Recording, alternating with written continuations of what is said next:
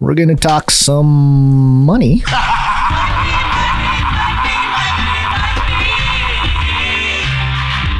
and Biden. Got hairy legs. Hairy. Got hairy legs. Hairy. COVID. Mm, he definitely got hairy COVID.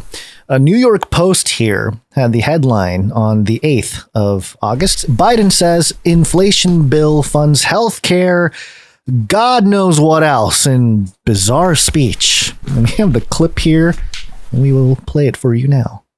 Oh, it's muted. Hold on one second. I love these tabs and their mutes. Here we go. We've never done this before, but because of a number of things we got done on a bipartisan basis, like a billion, two hundred million dollar infrastructure project, like what we're doing today, we passed yesterday, helping take care of everything from healthcare to God knows what else.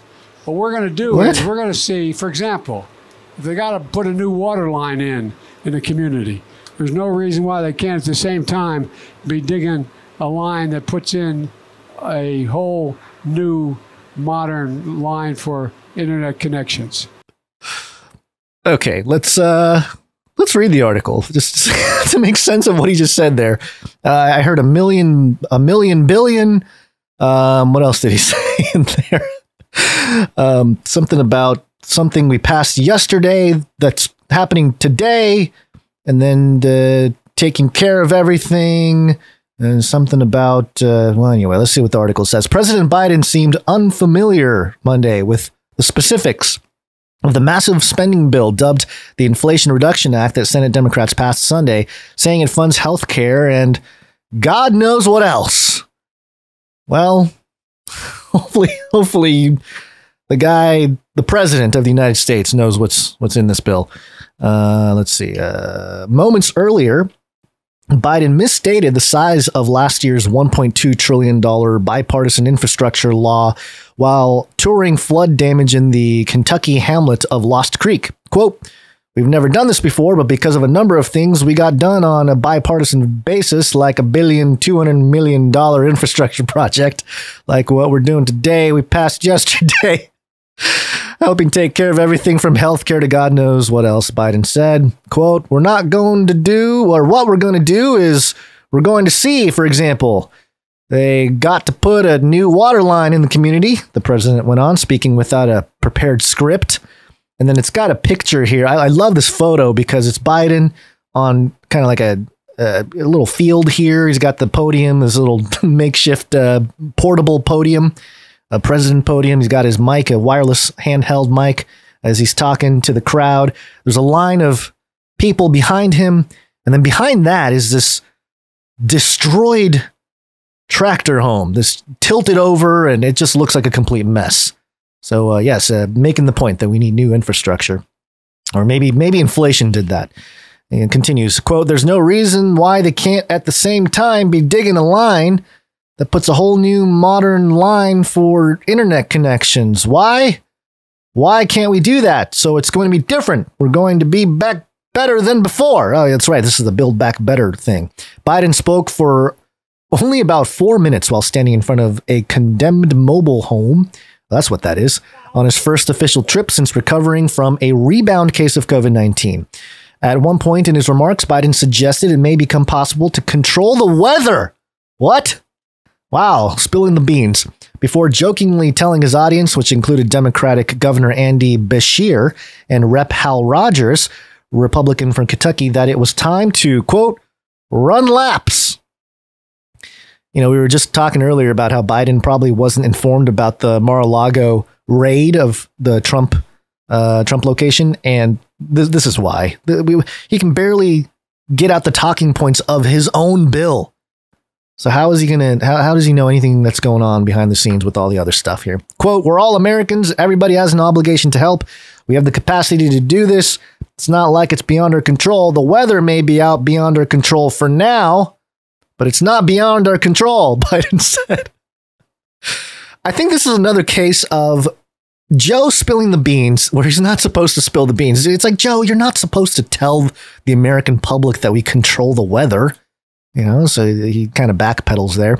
Biden's remarks about the Senate passed package were flagged by conservatives who said Biden had underscored their argument that the bill isn't about lowering inflation, which soared to an annual rate of 9.1% in June. RNC Deputy uh, Rapid Response Director Kyle Martison tweeted, quote, Biden basically admits the Inflation Reduction Act is not about bringing down inflation. And it kind of goes on here, and you know it's a New York Post, so it's a little little Biden bashing going on. Uh, but you know, a couple days have gone by, and um, Biden was uh, uh, on stage this morning uh, delivering the good news, the, the CPI, the uh, the new uh, numbers about inflation. So let's hear a quick clip of that. Danielle, thank you. Before I begin today, I want to say a word about the news that came out today relative to the economy. Actually, I just want to say a number zero. Today, we received news that our economy had 0% inflation in the month of July. Okay, uh, you heard it there, folks. President Biden said 0% inflation. Let's hear it again. Today, we received news that our economy had 0% inflation in the month of July.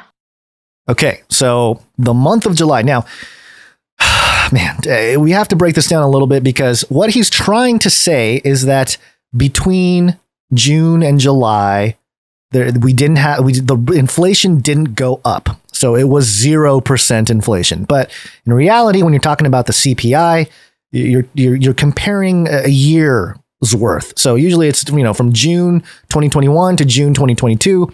The numbers last month it was 9.1 percent was the inflation, and so this month. Uh, the projected number of inf- uh, for inflation was 8.7 percent, I believe, and the numbers came out, and it was lower than that. It was 8.5 percent. So therefore, there there was uh, you know no change. It didn't go up, is basically what he was trying to say. But of course, you know it doesn't really help when the president just says things that require that level of deconstruction to understand because otherwise people are going to be running around saying hey we're back to 0% inflation which uh, to the point of the midterms this is a positive for the democrats uh, wanting because one of the big talking points against biden was inflation, inflation, inflation.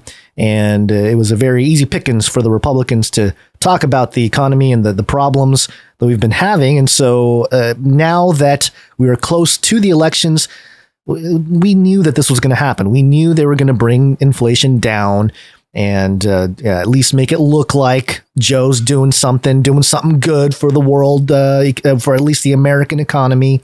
And, uh, you know, there's shouldn't be surprising to anybody. But again, it's just one of those things where Joe speaks and it just requires knowledge about the situation to understand what he's saying. Otherwise, people are going to start peddling fake information or false information. Oh, there's 0% inflation. No, there was 0% change in inflation.